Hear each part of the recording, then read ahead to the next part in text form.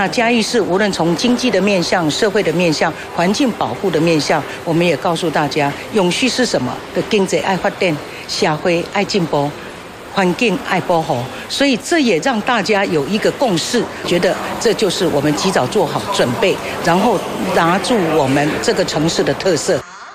嘉义市同时还获得了行政效率以及服务品质满意度勇夺非六都第一名。市长黄敏惠亲自北上领取奖项，并感谢嘉义市民跟市府团队的帮助。除了活化旧城区，未来也会以产业创新、空间营造、人才培育跟城市永续四个面向作为主轴，让嘉义市继续朝向木都三点零迈进。